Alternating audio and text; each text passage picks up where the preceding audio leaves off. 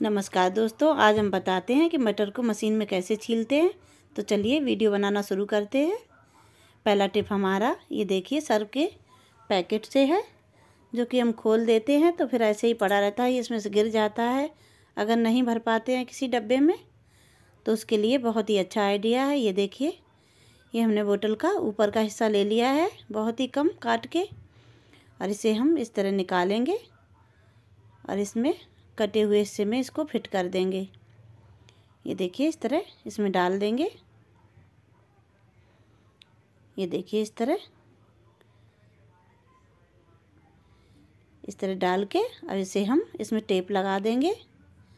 ये देखिए टेप लेके अच्छे से इसे टाइट करके इसको कवर कर देंगे। ये देखिए इस तरह हम टेप लगा देंगे। दो तीन बार इसमें लपेट के अच्छे से इसे और इसे हम कट कर देंगे। ये देखिए अच्छे से ये कवर हो चुका है। अब इसकी हम कैप लगा के कहीं भी रख सकते हैं। बिल्कुल भी नहीं गिरेगा कहीं भी। जब भी यूज़ करना होगा तो इसे हम खोल के निकाल लेंगे और फिर दोबारा से बंद करके अपनी जगह पे इसे रख देंगे। ये देखिए, बहुत अच्छे से निकल आता है ये देखिए। इस तरह निकाल के, बंद करके, जब भी यूज़ करना होगा तो इसे खोल के यूज़ कर लेंगे।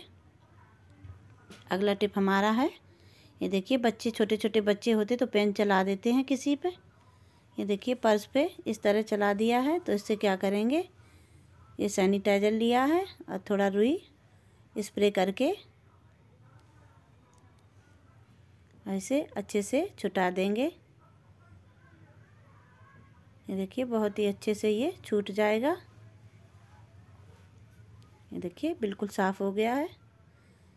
तो इस तरह आप ये छुटा सकते हैं, कहीं भी पेन चला है। अगला टिप हमारा मिक्सी के जग से है। ये कभी कभी हमारा ब्लेड जाम हो जाता है। ये देखिए कभी कभी ब्लेड बहुत ज़्यादा जाम हो जाते हैं तो उसके लिए क्या करेंगे? ये सरसों का तेल लेंगे हम। अच्छे से इसे लगा देंगे चारों तरफ़, इसमें नीचे। ये देखिए इस तरह। तेल का ही प्रयोग करें सरसों का तेल, क्योंकि ये जमता नहीं है, लिक्विड फॉर्म में रहता है। ये देखिए इस तरह लगा के रख देंगे तो अच्छे से ये काम करने लगेगा। अगला टिप हमारा अदरक से है, क्योंकि सर्दी है तो अदरक हम ज़्यादा ही ले आते हैं। इसको स्टोर करने के लिए क्या करेंगे? अच्छे से धो के साफ़ करके पोंछ लेंगे। सुखा लेंगे अच्छे से, फिर एक डब्बे में इसे भर के रखेंगे। और ये मीठा सोडा ले लेंगे हम एक चम्मच।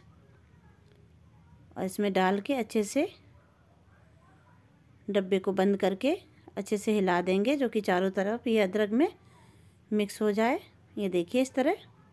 अब इसे हम रख देंगे तो आराम से ये चार पाँच महीने तक स्टोर बना रहेगा। अगला टिप हमारा मशीन से है। ये देखिए, वॉशिंग मशीन हम चलाते हैं, कपड़े धुलते हैं तो कभी कभी साफ़ करना भूल जाते हैं।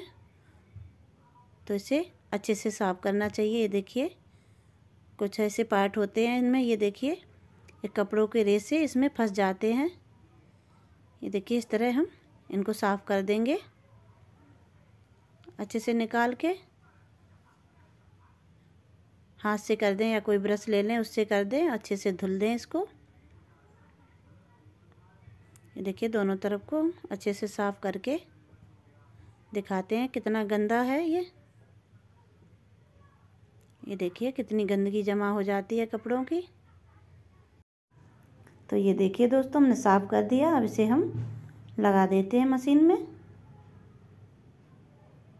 ये देखिए लगा दिया हमने इसे।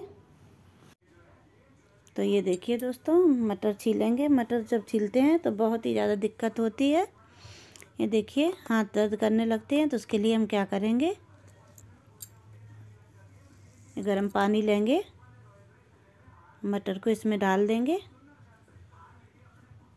पाँच मिनट तक इसमें डली रहने देंगे। इससे मटर सॉफ्ट हो जाएगी। उसके बाद हम छील के दिखाते हैं।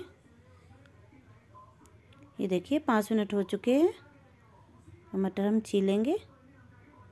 बहुत ही अच्छे से ये निकल आती है। ये देखिए, बहुत अच्छे से छिल जाती है।